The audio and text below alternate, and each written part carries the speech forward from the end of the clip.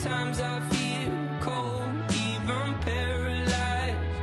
My interior world moves Oh, ha, kami sayang kita.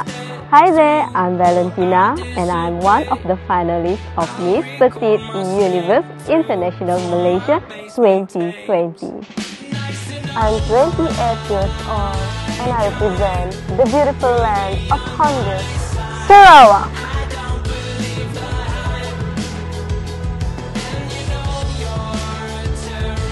So if you think I am your favorite, don't forget to vote me as your favorite starlet.